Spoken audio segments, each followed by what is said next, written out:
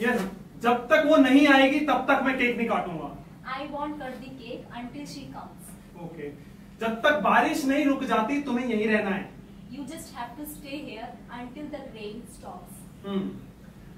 वो जब तक नहीं आएगी तब तक मैं खाना नहीं खाऊँगा। I will not eat food until she comes. हम्म। जब तक मैं इंग्लिश नहीं सीख जाता तब तक मैं इंस्टीट्यूट नहीं छोड़ूँगा। I will not leave the institute until I learn English. वो वेल डन क्लैप कर दो भाई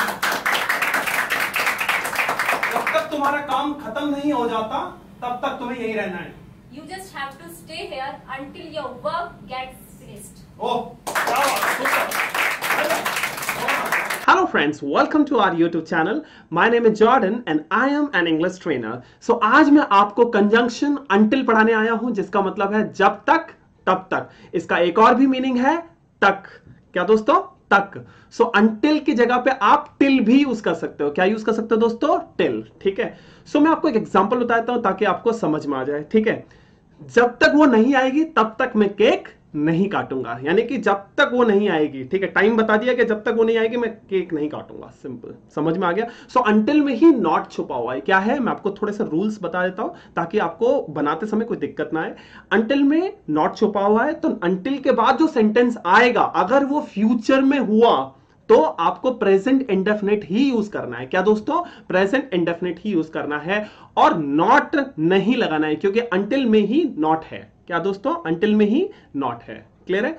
सो so, मैंने कुछ सेंटेंसेस बना रखे ताकि आपको और अच्छे से समझ में आ जाए। ठीक है? चलिए प्रैक्टिस करते हैं। सो so, मैंने लिखा हुआ है अंटिल आप इस अंटिल की जगह पे टिल भी लगा सकते हो। ये देखो। सो so, इसका मीनिंग क्या है? जब तक तब तक और एक और मीनिंग भी लिख रखा है। देखो तक। ठीक है? सो so, आ जाइए सेंटेंस पढ़ते हैं। इधर देखो। रोहन सुबह तक नहीं आया। सो देखो रोहन सुबह तक नहीं आया। यहाँ पे टाइमिंग बता दी गया सुबह तक नहीं आया। ये जो तक यूज़ हुआ है ये प्रपोजिशन के रूप में यूज़ हुआ है। ठीक है? किसके रूप में? प्रपोजिशन तो ये देखो रोहन सुबह तक नहीं आया।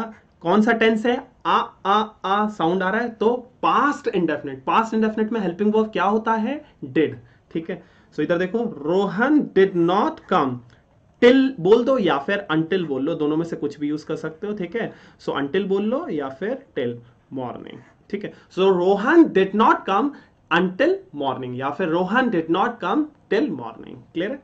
सो नेक्स्ट सेंटेंस देखो, यहाँ पे लिखा हुआ है। मेरे पिताजी रात के 10 बजे तक पढ़ते हैं। तो यानी कि तक बोला गया है, फिर से प्रपोजिशन के रूप में यूज़ हुआ यहाँ पर। ठीक है? सो यहाँ मेरे पिताजी रात के 10 बजे तक पढ़ते हैं, ते हैं, यानी कि प्रेजेंट इंडेफिनेट प्रेजेंट इंडेफिनेट में जब भी आप सेंटेंस बनाते हो सिंगुलर सब्जेक्ट को यूज़ करके तो मेन वर्ब में एस और एस यूज़ हो जाता है। और नेगेटिव जब बनाओगे तो डू या डज आता है, लेकिन अगर आप सिंगुलर सब्जेक्ट को यूज़ करके बनाते हो तो डज नॉट आता है। ठीक है? सो इधर देखो, मेरे पिताजी रात के 10 बजे तक पढ़ते हैं। सो माई फादर स्टडी मैंने अभी बताया था, अगर आप सिंगुलर सब्जेक्ट को यूज़ करके सेंटेंस बनाते हो तो मेन वर्ब में एस और ई एस आ जाता है। इधर देखो आई ई एस आ गया वाई को हटा दिया जाएगा तो क्या आ जाएगा? आई ई एस तो माई फादर स्टडीज़ टिल या फिर आप बोल सकते हो अंटिल 10 पीएम ठीक है? So my father studies until 10 PM या फिर my father studies till 10 PM clear हो गया दोस्तों? आ जाइए नेक्स्ट सेंटेंस पढ़ते हैं। इधर देखो। 2019 तक अर्जुन सेना में उच्च पदस्थ अधिकारी थे। यानी कि 2019 तक अर्जुन सेना में उच्च पदस्थ अधिकारी थे। ठीक है? सो आ जाइए इसका ट्रांसलेशन कर लेते हैं। अंटिल 2019 यानी कि 2019 तक टिल 2019 भी बोल सकते हो। यहाँ पर प्रेपोजिशन के रूप में यूज़ हुआ है अंटिल ठीक है ना? So Arjun was a high ranking officer in the army यहाँ पे देखो, थे। तो इसलिए वॉज़ आ गया, क्योंकि अर्जुन सिंगुलर है, इसलिए वॉज़ तो Arjun was a high ranking officer in the army clear है? सो आपको आई गेस समझ में आ चुका होगा. तो हम क्या बोलेंगे? Until 2019 Arjun was a high ranking officer in the army ठीक है? या फिर आप बोल सकते हो till 2019 Arjun was a high ranking officer in the army clear हो गया दोस्तों? आ जाइए नेक्स्ट सेंटेंस पढ़ते हैं। रेस्टोरेंट आधे रात तक खुला रहता है। ये जो तक यूज़ हुआ है वो प्रपोजिशन के रूप में यूज़ हुआ है। किसके रूप में? प्रपोजिशन सो so, तक की जगह पे क्या आ जाएगा दोस्तों? अंटिल क्या आ जाएगा? अंटिल अब आप सोच रहे होंगे कि इंट्रोडक्शन में तो कंजंक्शन बताया गया था। यहाँ बार बार प्रेपोजिशन क्यों पढ़ाया जा रहा है? तो मैं आपको थोड़ा सा डिफरेंस बता देता हूँ प्रेपोजिशन और कंजंक्शन में। तो जहाँ बोला जाए कि हाँ भाई उन्होंने 10 बजे तक क्रिकेट खेला। तो 10 बजे तक टाइमिंग बता दिया गया। तो मैं क्या बोलूँगा? दे प्लेड क्रिकेट टिल या अनटिल टेन ओ क्लॉक तो यहाँ पर जो अनटिल uh, यूज़ हुआ है वो प्रेपोजिशन के रूप में यूज़ हुआ है। ठीक है? किसके रूप में? प्रेपोजिशन और अगर मैं बोलूँ कि जब तक वो यहाँ नहीं आएगी तब तक मैं केक नहीं काटूँगा। तो हिंदी में ही जब तक और तब तक आ रहा है तो यहाँ पर आपको समझना है यहाँ पर अंटिल जो यूज़ होगा वो कंजंक्शन के रूप में यूज़ होगा। किसके रूप में? कंजंक्शन तो आइए समझ में आ चुका होगा। देखो इसका ट्रांसलेशन है। The restaurant is open until या टिल मिडनाइट ठीक है? The restaurant is open until और टिल मिडनाइट क्लियर है?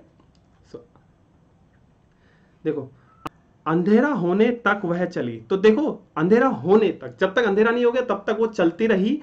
तो ये तक की जगह पे क्या आ जाएगा? ये देखो अंटिल आ गया और वह चली। तो वह चली। कौन सा टेंस है ये? ये सेंटेंस कौन से टेंस में है? पास्ट इंडेफिनिट में है। तो पास्ट इंडेफिनिट में वर्ब के कौन से फॉर्म का यूज़ होता है? देखो वर्ब के सेकंड फॉर्म का यूज़ होता है। तो she walked until it got dark past की बात करें तो इट गॉट बोलेंगे गेट की सेकेंड फॉर्म डॉक तो she walked until it got dark clear है? आज ये नेक्स्ट सेंटेंस पढ़ते हैं।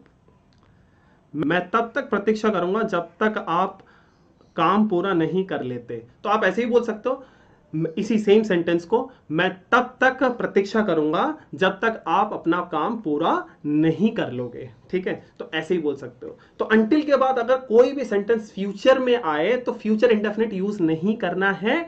अगर आपको लग रहा है कि सेंटेंस फ्यूचर में है तो प्रेजेंट इंडेफिनेट ही यूज़ करना है। क्लियर है? अंटिल के बाद याद रखना है। ठीक है? सो देखो आई विल वेट ये वाला सेंटेंस तो देखो मैं तब तक प्रतीक्षा करूँगा। यहाँ देखो आई विल वेट करूँगा। ये फ्यूचर इंडेफिनिट है, इसलिए विल लगा दिया। आई विल वेट जब तक अंटिल आप अपना काम पूरा नहीं कर लेते। तो until you finish the work तो अंटिल के बाद यहाँ पे नॉट मत लगा देना, ठीक है? ये थोड़ा सा ध्यान रखना यहाँ पे नॉट नहीं लगाना है, ठीक है? अंटिल जैसे बच्चे लगा देंगे अंटिल यू डोंट फिनिश नहीं, गलत हो जाएगा। तो क्या बोलोगे? I will wait until you finish your work ठीक है? तो ये हो जाएगा सेंटेंस आ जाइए नेक्स्ट सेंटेंस तुम्हारा, ये देखो। तुम्हारे आने तक वह यहीं रहेगी। यानी कि इस सेंटेंस को आप ऐसे ही बोल सकते हो, जब तक तुम नहीं आओगे, तब तक वह यहाँ रहेगी। ठीक है? तो यहाँ पर ऐसे बोल सकते हो।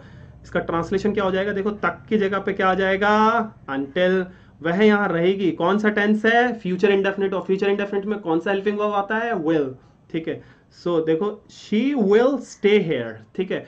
और तक की जगह पे क्या आ जाएगा? अंटिल तुम्हारे आने तक। तो ये कौन सा टेंस में बनेगा? प्रेजेंट इंडेफिनिट तो देखो अंटिल यू कम तो यू के साथ जब आप सेंटेंस बनाते हो तो मेन वर्ब में एस और यस नहीं आता है। तो she will stay here until you come clear है? आ जाइए नेक्स्ट सेंटेंस बनाते हैं। वह तब तक नहीं जा सकता जब तक उसका काम पूरा नहीं हो जाता, ठीक है? तो वह तब तक नहीं जा सकता जब तक उसका काम पूरा नहीं हो जाता, ठीक है? So he can not leave देखो, पहला सेंटेंस क्या आ रहा है? ही कांट लीव ये देखो, वह तब तक नहीं जा सकता. ही कैन नॉट लीव इसका पूरा ट्रांसलेशन हो गया। और जब तक की जगह पे क्या आ जाएगा? जब तक की जगह पे अंटिल आ जाएगा। उसके बाद देखो उसका काम पूरा नहीं हो जाता ठीक है?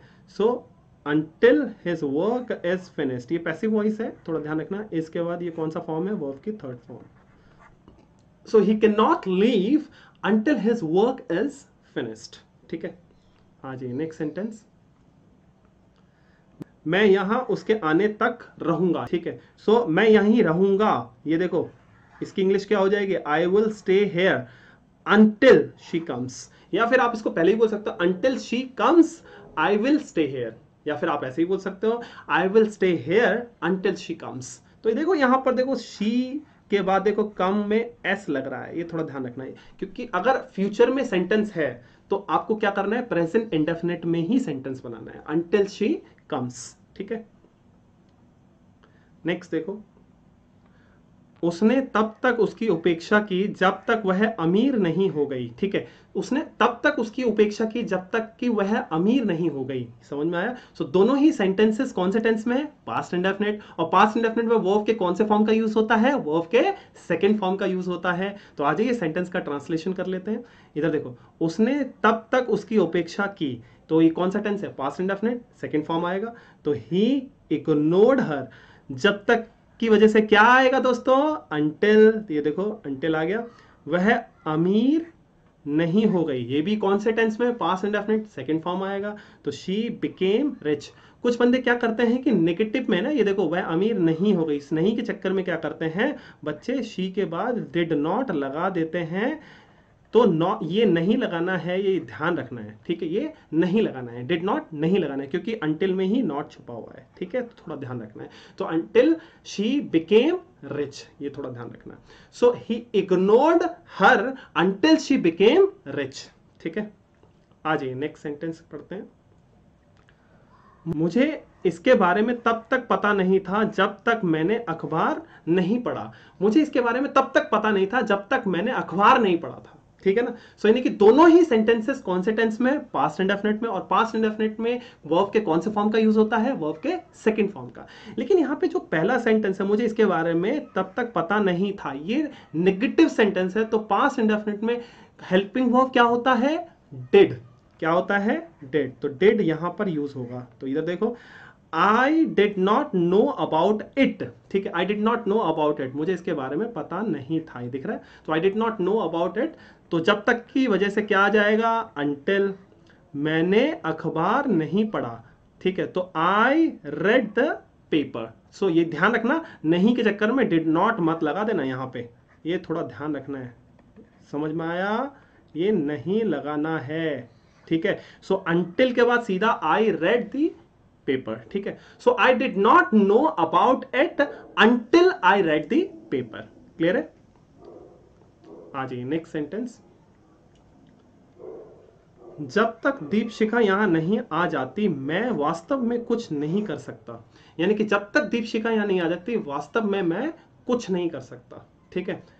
तो आ जाइए। जब तक के लिए क्या आ जाएगा? जब तक की वजह से क्या आएगा? अंटिल ये देखो, मैं वास्तव में कुछ नहीं कर सकता, इसकी इंग्लिश पहले बना लेते हैं। देखो I can't really do anything I can't really do anything अब जब तक की वजह से क्या आ जाएगा? अंटिल दीप शिखा यहाँ नहीं आ जाती। तो यानी कि दीप शिखा यहाँ पर प्रेजेंट में है प्रेजेंट इंडेफिनेट में बनाएँगे। तो दीप शिखा गेट्स हेयर तो यहाँ पे डज नॉट नहीं लगाना है। क्या नहीं लगाना है? डज नॉट नहीं लगाना है। याद रखना है ठीक है? सो so, क्या बोलेंगे? I can't really do anything until Deepshikha gets here clear है? गेट्स मतलब क्या हो गया? पहुँचना। यहाँ पर गेट का मतलब है पहुँचना। पहुँचना। ठीक है? सो so, गेट में एस और ई एस आ जाएगा। मैंने बताया था जब भी आप सेंटेंस सिंगुलर सब्जेक्ट को यूज़ करके बनाते हो प्रेजेंट इंडेफिनेट में। ठीक है? So I can't really do anything until Deepshikha gets here clear है? आ जाइए नेक्स्ट सेंटेंस बनाते हैं। ये देखो। जब तक आप मेरी मदद करने का वादा नहीं करेंगे, तब तक मैं इस जगह को नहीं छोड़ूँगा। यानी कि जब तक आप मेरी मदद करने का वादा नहीं करेंगे, तब तक मैं इस जगह को नहीं छोड़ूँगा। समझ में आया? तो दोनों ही सेंटेंसेस कौन से टेंस में? फ्यूचर इंडेफिनेट और फ्यूचर इंडेफिनेट में हेल्पिंग वर्ब क्या होता है? विल और विल के साथ तो वर्ब के कौन से फॉर्म का यूज़ होता है? वर्ब के फ़र्स्ट फॉर्म सो देखो, जब तक आप मेरी मदद नहीं करेंगे नेगेटिव सेंटेंस तब तक मैं इस जगह को नहीं छोड़ूँगा। ये भी नेगेटिव सेंटेंस है, पर जो लास्ट सेंटेंस है, सबसे पहले हम उसका ट्रांसलेशन करेंगे। ये देखो, मैं इस जगह को नहीं छोड़ूँगा। तो नहीं के लिए क्या आ जाएगा? विल नॉट जिसको हम बोलते हैं वॉन ठीक है? So I won't leave this place तो ये देखो वॉन तो इसको हम क्या बोलेंगे? विल नॉट जिसको हम बोलते हैं won't I won't leave this place till और until you promise to help me यानी कि देखो, अगला वाला सेंटेंस देखो, जब तक, ये दिख रहा है? जब तक तो जब तक की वजह से क्या आ जाएगा? टिल या अनटिल आप मेरी मदद करने का वादा नहीं करेंगे। तो ये भी कौन से टेंस में? फ्यूचर में। है लेकिन आपको फ्यूचर में नहीं बनाना है। विल नॉट यूज़ नहीं करना है इसके बाद। विल नॉट यूज़ नहीं करना है। ये थोड़ा ध्यान रखना है।